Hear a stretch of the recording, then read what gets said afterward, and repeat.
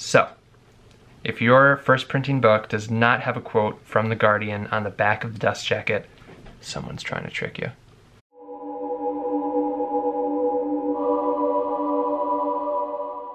Hey Harry Potter fans, the Potter Collector here. Welcome back to my channel where we are a community of collectors. Today I would like to talk about the first American edition of the Harry Potter books, specifically the first printing set, what to look for, what to avoid. We'll go over some values as well. All of the American first editions have cover art by Mary Grand-Pré. This is very iconic cover art for Harry Potter fans. I'm gonna blow through them really quick.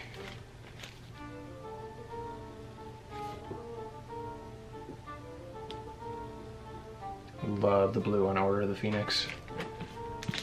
This is my favorite cover out of all of them. And of course, Deathly Hallows. Now you may be wondering why Deathly Hallows and Prisoner of Azkaban do not have protective sleeves over the dust jackets. That's just because I haven't um, put new ones on yet. All right, let's start with Sorcerer's Stone. This is the most complex of the seven books when it comes to printing points, uh, what to look for, what to avoid. There were 30,000 first printing copies of Sorcerer's Stone. As we learned in another video that I did, the printing is the entire print run of a book. So for example, all 30,000 of the first printings were in that initial first print run. A first edition can have multiple print runs. So for example, if Sorcerer's Stone is in its like 100th print run. So there are millions of first edition Harry Potter books out there. It's the printing that you want to look for. On the front of the dust jacket, you will find Harry Potter in raised gold lettering and J.K. Rowling with recessed gold lettering. This was later changed to raised lettering on later printings. On the back cover you will find a very important quote by The Guardian. If you find a first printing with a dust jacket showing a quote from Publishers Weekly, then the book's jacket has been swapped for later printing.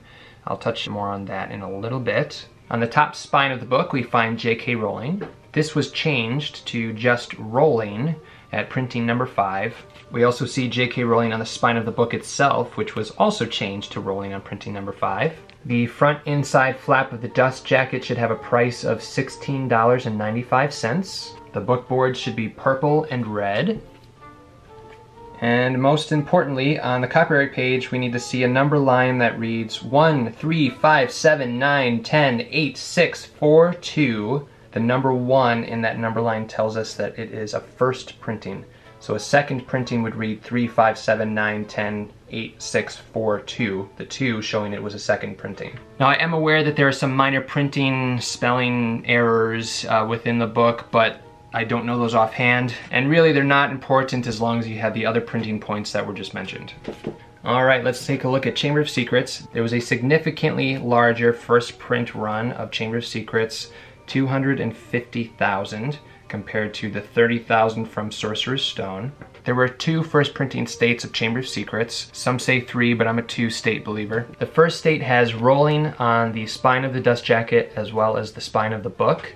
In the second state, they started to introduce the year number underneath the name Rowling. So the second state would have year two and year two underneath the name Rowling.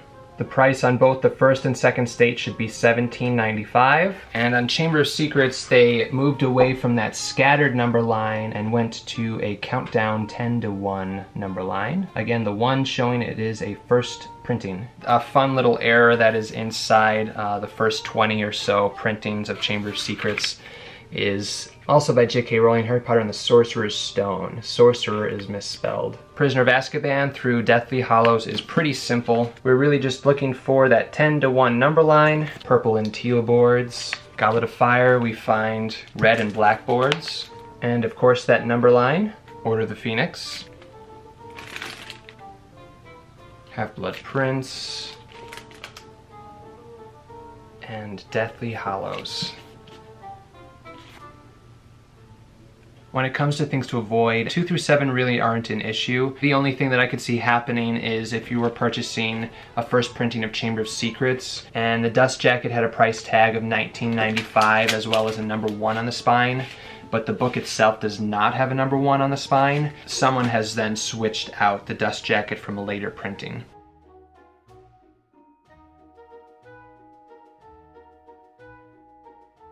So, which one is the first printing of Harry Potter and the Sorcerer's Stone? Let's go through some scenarios of things you want to look for and avoid if you're interested in purchasing a first printing. The first thing that you may run into is a jacket swap. So someone has taken a jacket from a later printing and put it on your first printing. Remember, you have to have the quote by The Guardian on the back cover. Okay, so you may say, hey Peter, but I found a first printing with J.K. Rowling on the spine and the 16.95 price tag, except that it says Publishers Weekly on the back. That still makes it a first printing, right? Because it has two issue points? No, it needs all of the issue points. Something important to know about the first four printings of Harry Potter and the Sorcerer's Stone. Printings one and two featured the quote by The Guardian on the back cover. At printing three, they changed the quote to Publishers Weekly, but kept J.K. Rowling on the spine, as well as the $16.95 price tag. This went through printing number four. So printing number five is when we first find just Rowling on the spine. If your first printing book does not have a quote from The Guardian on the back of the dust jacket, someone's trying to trick you. Something that confuses a lot of collectors are the book club editions of Harry Potter and the Sorcerer's Stone. They are technically first printings, but they are a totally different edition. You can find them with black and maroon boards, solid black boards, or solid red boards. These books were sold to book club members. They are made with very cheap materials, which helps us spot a true first printing. So already you're probably noticing that the board coloring is different. So if you're looking for a first, a true first printing, you of course want to look for the purple and red boards. Anything other than that is not a true first printing. The front dust jacket does not have raised or gold lettering. It's just printed directly onto the dust jacket itself. What's nice is we don't see a quote from The Guardian on the back cover, and book club editions do not have prices. The thing that book club editions do have is that first printing number line, because it is technically a first printing, just a totally different edition. So that number line definitely confuses a lot of collectors. One thing that you can look for on a copyright page to determine very easily if it is a book club edition or not, I mentioned before the materials are a lot cheaper. You can see just how thin the paper is. See the diamond pattern on the opposite page? You can very clearly see that through the copyright page, which shows how thin the material is. Whereas on the first printing, the paper is significantly thicker and there is little to no see-through. Now we have seen counterfeit first printings of Sorcerer's Stone. What do you want to look for? Okay, so say you find a first printing, it has J.K. Rowling on the spine, red and purple boards, the copyright page has that important number one on it, but you're looking at the picture that the seller has posted, the paper seems a little thin. You see that diamond pattern on the opposite side of the page. Now it may be a trick of the light, but this is definitely something to question. It's possible that this seller has taken the copyright page out of a book club edition and inserted it into a second, third, or fourth printing of Harry Potter and the Sorcerer's Stone. Remember, those are the only ones with this J.K. Rowling on the spine. Now most likely if you did come across something like this, which is very rare nowadays, the dust jacket most likely would not match that of a first printing. So that would be another red flag to look for always question the seller and always ask for help if you're not sure. I mean, of course, as collectors, we need to educate ourselves, right? But there are expert collectors in the field who are happy to help. So those are really the only scenarios that I can think of that you would possibly have an issue with when buying a lovely first printing copy of Sorcerer's Stone.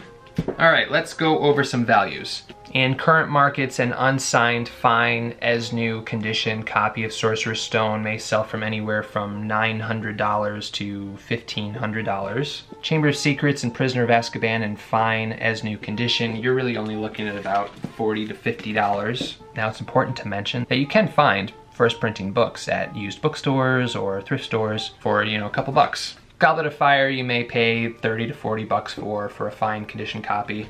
Then Order of the Phoenix, Half-Blood Prince, and Deathly Hallows you may pay anywhere from, you know, 20 to to $30 for an as new copy. You're really just paying for the book at that point because millions of them were printed. Thank you guys so much for watching. I hope that this video was helpful in your collecting journey of Harry Potter books.